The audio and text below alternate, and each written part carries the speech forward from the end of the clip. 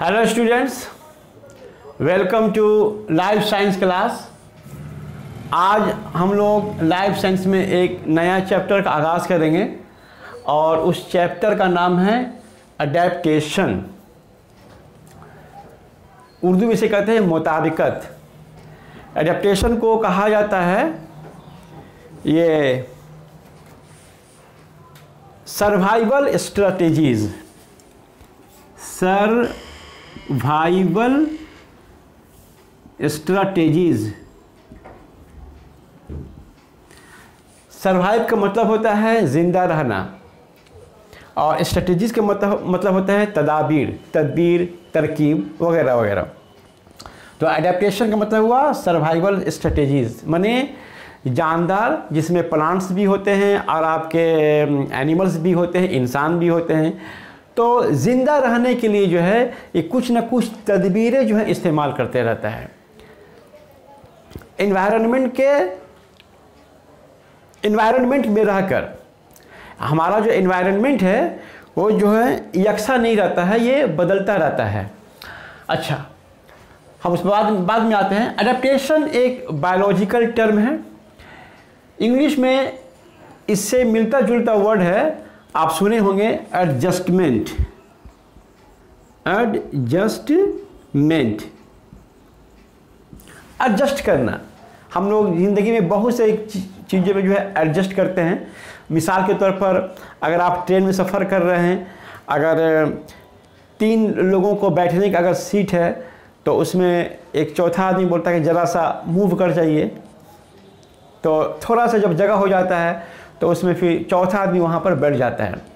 हालाँकि बैठने का सीट तीन ही आदमी का है, लेकिन थोड़ी सी जगह जब मिल जाती है तो उसमें जो है थोड़ी सी जगह में जो है, आदमी फिर बैठ जाता है। एक जांग सीट पर रखता है एक जांग बाहर रखता है। मतलब किसी से एडजस्ट कर जाता है। तो इसको हम एडजस्ट एडजस्ट बोलते हैं। तो एडेप्टेशन से मिलता जुलता वर्ड एडजस्टमेंट है। उसी तरह से एक और वर्ड है हैबिचुएशन हैबिचुएशन हम कहते हैं कि इसको फला चीज़ का हैबिट हो गया है, उसका आदि हो गया है।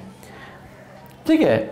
जैसे यूज़ टू अंग्रेज़ी में हम बोलते हैं यूज़ टू उसका मान किसी चीज़ के साथ जो है बहुत दिनों के साथ रहते उस चीज़ का वो आदि हो गया, उसके उसके साथ एडजस्ट कर लिया है। और एक वर्ड है अक्लामाइटेजेशन अक्लाइमाटाइजेशन अक्लाइमाटाइज अक्लाइमाटाइज देखिए, हमारे मुल्क से जब कोई क्रिकेट टीम जो है ओवरसीज वनडे सीरीज़ या टेस्ट सीरीज़ खेलने के लिए जाती है, मसलन ऑस्ट्रेलिया हुआ या इंग्लैंड हुआ या न्यूजीलैंड हुआ तो वहाँ पहुँचने के बाद फ़ौर एक या दो दिन के बाद जो है वो मैचेस खेलना स्टार्ट नहीं करती हैं। वो दो चार रोज़, हफ़्ता रोज़, क्या कहते हैं वार्म अप मैचेस खेलते हैं। तो उसके बाद फिर जब वार्म वार्म अप मैचेस हो जाता तो फिर दस दिन या पंद्रह दिन के बाद फिर जो ऑफिशियल जो ओडीआई सीरीज़ होता है या टेस्ट सीरीज़ होता है, फिर वो वो लोग खेलते हैं। इसकी वजह क्या है? इसकी वजह वजह ये है कि यहाँ से जो टीम जो ओवरसीज जाती है तो वहाँ पर जाने के बाद चूँकि वहाँ एक न्यू क्लाइमेट में ये लोग जो है दाखिल होते हैं तो उस न्यू क्लाइमेट के साथ चंद रोज़ जो है एडजस्ट करने में जो है गुजारते हैं। उसको अंग्रेज़ी में कहते हैं अक्लाइमाटाइज वहाँ के न्यू क्लाइमेट के साथ हम आहंग हो जाना उसके साथ मुताबिकत अख्तियार कर लेना। तो अक्लामाइटाइज उसको हम कहते हैं। माने वहाँ के गैर मुल्की आबो हवा वहाँ का मौसम के साथ एडजस्ट कर लेना। तो इसको एडजस्ट कहा इसको अक्लामाइटाइज बोला जाता है। तो एडेप्टेशन से मुतलिक ये आ, कुछ और चार मिलता जुलता अल्फाज हैं। हालाँकि एडेप्टेशन जो है, ये एक बायोलॉजिकल टर्म है।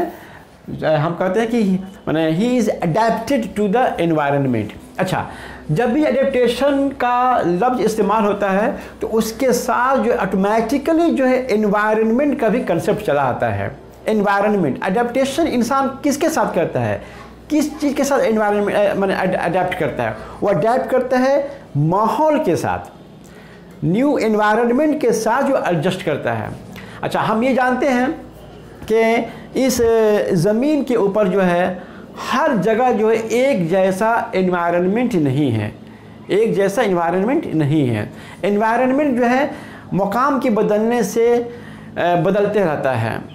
जैसे फ़र्ज़ कर लीजिए, जैसे कि पहाड़ी इलाका है, वहाँ सर्दी ज़्यादा पड़ती है, वहाँ पहाड़ों पर सालों भर जो है, बर्फ़ जमा रहता है तो वहाँ का मौसम जो है वहाँ का मौसम जो है एकदम कोल्ड वेदर कोल्ड क्लाइमेट वहाँ का है। उसी तरह से आप साहिली इलाके में चले चले जाएँ कोस्टल रीजन में तो वहाँ का जो माने क्लाइमेट है या वेदर है, वो मॉडरेट होता है। ना ज़्यादा गर्मी पड़ती है, ना ज़्यादा सर्दी पड़ती है। उसी तरह से आप जो है ये दूसरे खत्े में अगर आप चले जाएँगे तो वहाँ पर जो है आपको बहुत ज़्यादा गर्मी पड़ती है। या या, या, या जो इक्वाटोरियल रीजन होता है जैसे हमारे मुल्क के जैसे आपका ये आपका गुजरात हुआ यूपी हुआ गुजरात महाराष्ट्र ये सब महाराष्ट्र नहीं गुजरात मध्य प्रदेश जो इलाका हुआ ये बहुत गर्म इलाका है। तो कहने का मतलब है कि हम मैंने ज़मीन पर कहीं भी एक जैसा माहौल नहीं geographical conditions geographical conditions climate weather जो भी बोले, एक जैसा नहीं रहता, ये बदलते रहता है। और चूँकि इस ज़मीन के ऊपर हर जगह एक जैसा माहौल नहीं है एनवायरनमेंट नहीं है, उस ठीक उसी तरह जो है, हर जगह जो है ज़मीन पर आपको एक तरह के, एक ही किस्म के नबातात या एक ही किस्म के जानदार आपको नहीं मिलेंगे। किसी इलाके में कुछ नबातात हैं, किसी इलाके में कुछ है। किसी इलाके में कुछ जानवर पाए जाते हैं, दूसरे इलाके में दूसरे किस्म के जानवर पाए जाते हैं। मसलन जो कुतबी इलाका है, जैसे आपका नॉर्थ पोल, ये जो पोलर रीजन जिसे कहते हैं तो पोलर रीजन्स में वहाँ जो, मैंने एनिमल्स पाए जाते हैं, वो दूसरे इलाकों में नहीं पाए जाते हैं। उसी तरह से जैसे आपका डेजर्ट का इलाका है, रेगिस्तानी इलाका, वहाँ पर चूँकि जो है रात, मैंने बहुत ज़्यादा गर्मी पड़ती है, वहाँ पानी की किल्लत है, वहाँ पर बारिश नहीं होती है, वहाँ पर आपका जो है रेगिस्तान है तो ऐसे इलाकों में जो है जो नबातात पाए जाते हैं, वो दूसरे इलाकों में आपको नहीं देखने को मिलेंगे। यहाँ वो, या वहाँ जो जानवर पाए जाते हैं, वो जानवर दूसरे जगहों में देखने को नहीं मिलेंगे। अच्छा उसी तरह से आपका जो पहाड़ी इलाका है पहाड़ी इलाके में भी जो है आपको जिस तरह के दरख्त पाए जाते हैं वो दूसरे इलाकों में नहीं नहीं, नहीं मिलेंगे। आपका दलदली इलाका हुआ या जो आपका समुद्री इलाका हुआ वहाँ पर दूसरी किस्म के नबातात मिलेंगे। तो कहने का मतलब ये है कि चूँकि माहौल अल्लाह ताला जो है इस ज़मीन के ऊपर हर जगह यकसा नहीं रखा है, माहौल बदलते रहता है। बदला हुआ माहौल जो इन्वायरमेंट में हर जगह है, इसलिए बदलते हुए माहौल के मुताबिक जो है, उन माहौल में जो है मुख्तलिफ़ किस्म के नबातात और जो है जानवर पाए जाते हैं। ठीक है? आप एक ही किस्म के आप different environment different environmental conditions में एक तरह के जानवर आप लाकर नहीं रख सकते हैं। अच्छा इन्वायरमेंट से और क्या मुराद है? इन्वायरमेंट से ए, मुराद ये है या इन्वायरमेंट को हम ए, एक, एक, के लिए एक और जो है खूब अप्रोप्रिएट वर्ड जो यूज़ होता है वो होता है habitat habitat H A B I T A T A T habitat habitat क्या है? हैबिटेट इन्वायरमेंट ही है लेकिन एक पर्टिकुलर इस इन्वायरमेंट है। एक स्पेसिफिक लोकेलिटी में एक पर्टिकुलर इन्वायरमेंट होता है, और उस पर्टिकुलर इन्वायरमेंट में पर्टिकुलर जो है आपके ऑर्गेनिजम्स पाए जाते हैं। अब हैबिटेट से मुराद जैसे फ़र्ज़ कर लीजिए डेजर्ट डेजर्ट क्या हुआ? एक पर्टिकुलर इन्वायरमेंट है। उस पर्टिकुलर इन्वायरमेंट में अच्छा ये पर्टिकुलर इन्वायरमेंट क्या? है एक पर्टिकुलर प्लेस में पर्टिकुलर लोकेलिटी में है। मतलब आपका जैसे हमारे मुल्क में जैसे राजस्थान है तो राजस्थान का राजस्थान एक पर्टिकुलर इलाका हो गया। उस पर्टिकुलर इलाके में एक पर्टिकुलर इन्वायरमेंट क्या है? डेजर्ट है।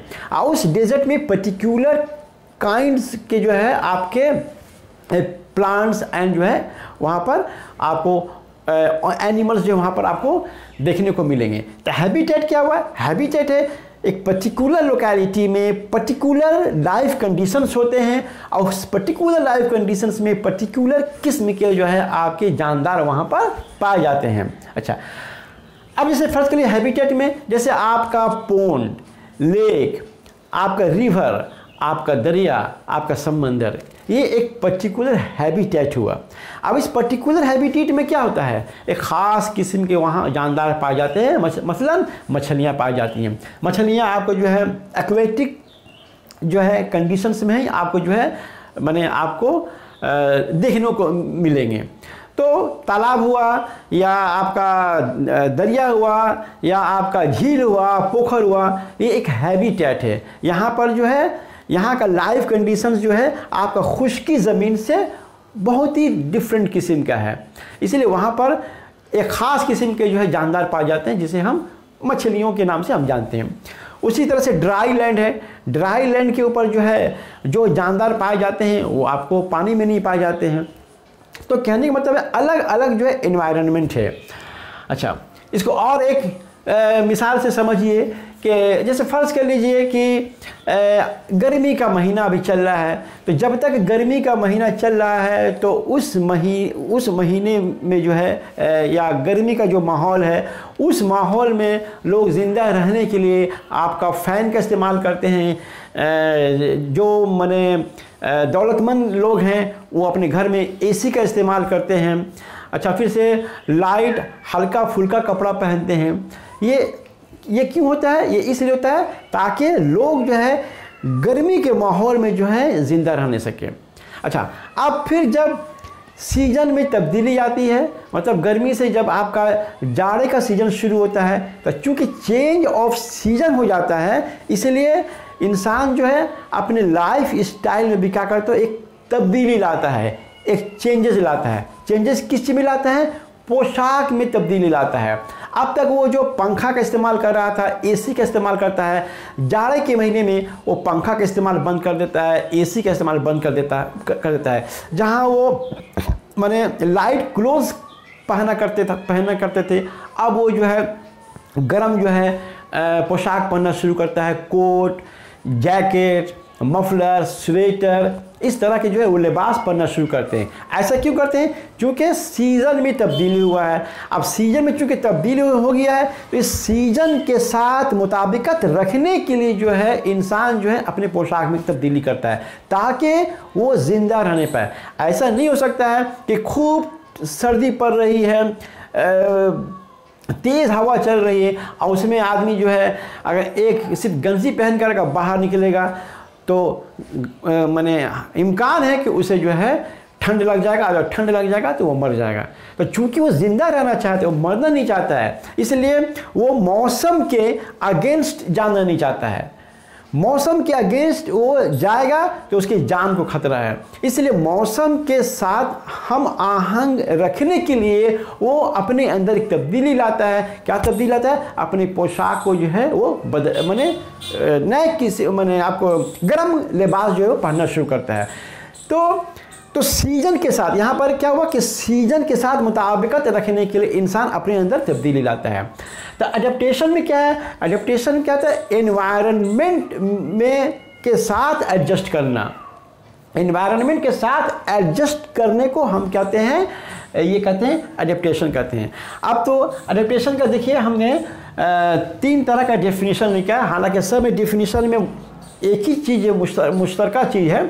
कुछ ज़्यादा फ़र्क नहीं है, लेकिन अलग अलग ढंग से हमने लिखा है। इसको हम पढ़ते हैं और समझने की कोशिश करते हैं। Adaptation is a process by which the structure and physiology of the organisms help them to live successfully in their particular environment तो एडेप्टेशन क्या हुआ? एडेप्टेशन एक एडेप्टेशन वो अमल है जिसके ज़रिया एक जानदार का जिस्मानी साखत और उसके अजूयाती अफ़ाल उसे ख़ास माहौल में कामयाबी के साथ ज़िंदा रहने में मदद करती है। तो एडप्टेशन क्या हुआ? एडप्टेशन वो अमल है जिसके ज़रिया एक जानदार का जिस्मानी साखत और उसके अजुवाती अफ़ाल उस जानदार को एक ख़ास माहौल में ज़िंदा रहने में मदद करती है। फिजियोलॉजी तो आप जानते हैं। फिजियोलॉजिकल हमारे जिसम के अंदर फिजियोलॉजिकल प्रोसेस होता है, जैसे डाइजेशन एक फ़िज़िकल फिजियोलॉजिकल प्रोसेस है।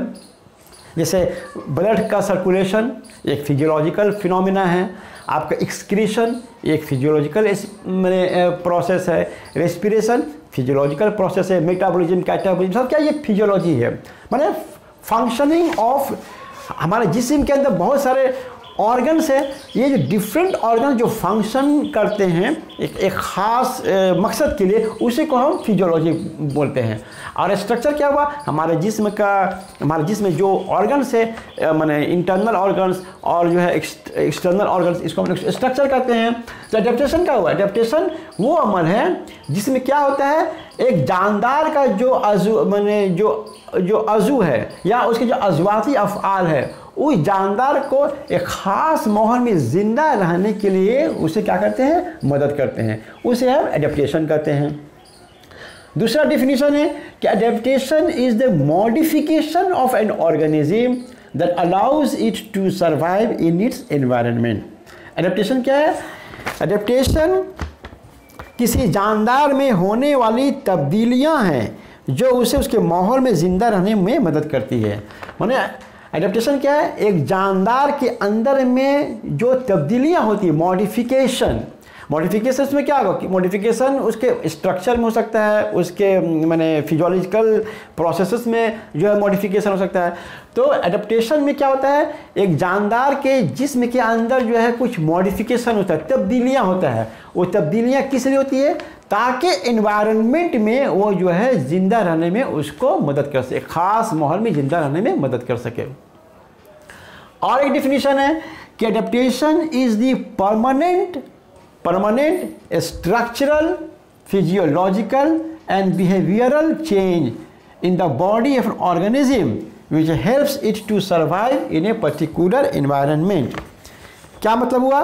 कि किसी जानदार के जिस्म में होने वाला मुस्तकिल, किसी जानदार के जिस्म में होने वाला मुस्तकिल, जिस्मानी, आजुयाती या बर्ताव में होने वाला मुस्तकिल तब्दीलियाँ हैं। जो किसी ख़ास माहौल में ज़्यादा से ज़्यादा दिनों तक ज़िंदा रहने में उसे मदद करती है। तो कहने का मतलब क्या हुआ कि एडेप्टेशन में क्या होता है? एडेप्टेशन में एक जानदार एडेप्टेशन में दो चीज़ें ऑर्गेनिज्म है और एनवायरनमेंट है। ऑर्गेनिज्म है और एनवायरनमेंट है। एनवायरनमेंट के साथ हम झगड़ा नहीं कर सकते हैं। इन्वायरमेंट के साथ हम इन्वायरमेंट के हम खिलाफ में नहीं जा सकते हैं। इन्वायरमेंट के साथ हम जो है मज़ाक नहीं कर सकते हैं। तो एक जानदार है और इन्वायरमेंट है।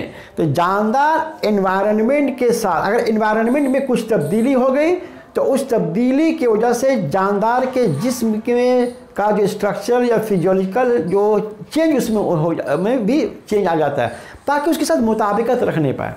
मुताबिकत नहीं रखने पाएगा तो जानदार जो है ज़िंदा नहीं रहने पाएगा। तो चूँकि जानदार को ज़िंदा रहना है, इसलिए वो माहौल के साथ जो है एडजस्ट करता है। तो दूसरा अच्छा दूसरी चीज़ कि अडेप्टेशन किस लिए? क्यों एक जानदार अडेप्टेशन करता है? तो अडेप्टेशन के पीछे दो चार मकासद है अडेप्टेशन जानदार इसलिए करता है ताकि वो ज़िंदा रहने पाए। तो ज़िंदा रहना सबसे पहला मकसद है एक जानदार का जिसके लिए वो एडेप्टेशन करता है। दूसरा क्या है? जानदार जो है एडेप्टेशन इसलिए करता है ताकि वो जिनसी तोलिदी अमल के ज़रिया अपने नस्ल को जो है आगे के, की तरफ़ जो है बढ़ा सके। तीसरा क्या है?